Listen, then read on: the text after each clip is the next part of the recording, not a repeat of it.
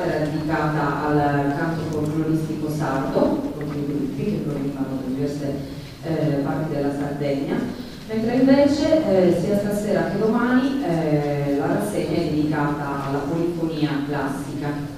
Questa sera abbiamo come ospiti il coro polifonico algherese e eh, il soprano Marta Succiu accompagnata al pianoforte dalla pianista eh, Giuseppina.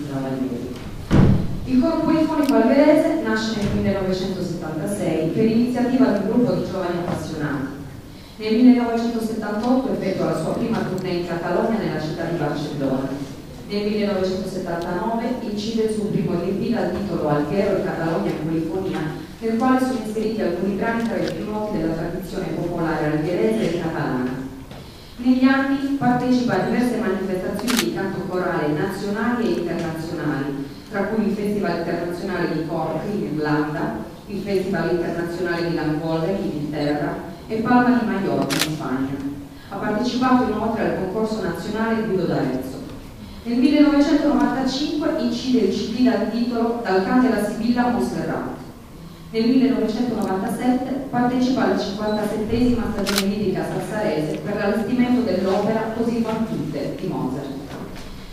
Per la prima volta in Italia il coro presenta la vista de battaglia di Serreros nel 1998, prendendo parte alla manifestazione Alviero Rubenca omaggio a Luigi IX, alla presenza di Nuria Schemberg e il maestro Claudio Abbado.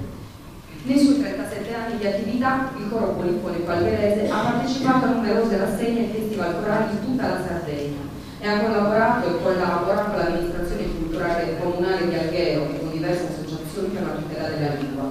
Dal 2010 si è concentrata sul repertorio di musica polifonica sacra contemporanea, con particolare attenzione ad alcuni compositori eh, dei paesi dell'est. Il coro polifonico alberese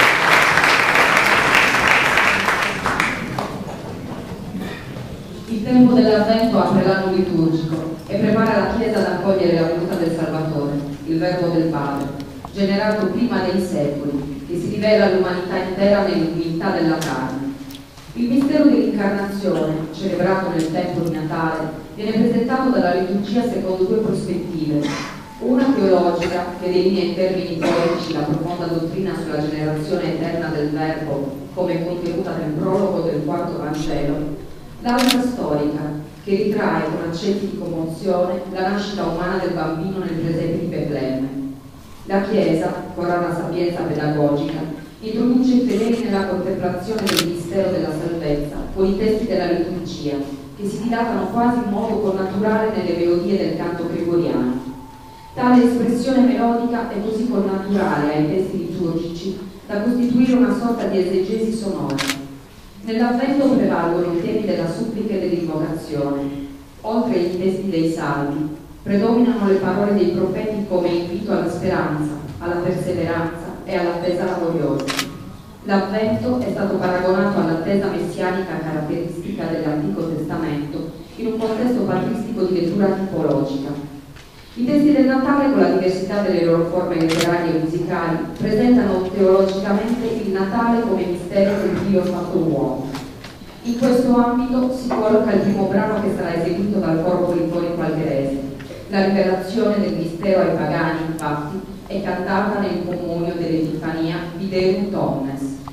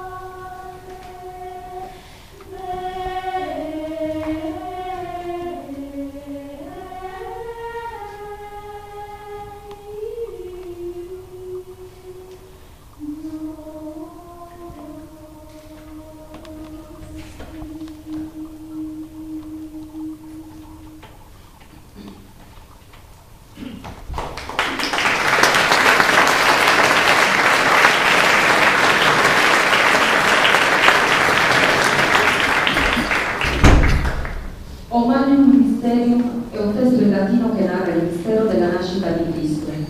Il brano fu composto da De Vittoria in die circoncisioni domini. L'uso delle figure retoriche per sottolineare il significato delle parole è qui particolarmente efficace. L'intreccio polifonico, ad esempio, è utilizzato per esprimere l'inafferrabile mistero dell'incarnazione o per ravvivare l'esultanza dell'alleluia finale. Le voci procedono invece in omoritmia, quando il compositore vuole esprimere l'evidenza della nascita di Gesù davanti agli animali, Videum Domini, o l'indubbia beatitudine della Vergine Madre.